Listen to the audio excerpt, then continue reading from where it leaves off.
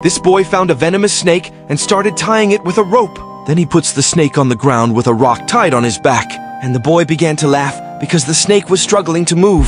Surprisingly, his master was secretly observing him but stayed quiet. The next day, he picks a frog from the riverside and starts doing the same thing to the frog. He placed the frog near the water and started laughing again because the frog could not move. Then he goes into the water and catches a fish. And then he also tied the fish. After that, he places the fish back in the water and starts laughing because the fish is struggling to swim. The master sees this again and decides to teach him a lesson. He then goes to the forest, gets a really heavy rock from the forest, and ties it to the boy's back while he is sleeping. When the boy woke up, he asked the master to take off the rock. Master said he would only do it if he untied the snake and the frog first, or else he would carry the rock to the next world. The boy then gets on his boat and goes to look for the snake. He then searches everywhere, but he couldn't find the snakes and the frog. And then he finally saw the snake and rushed to untie it, but the snake was dead.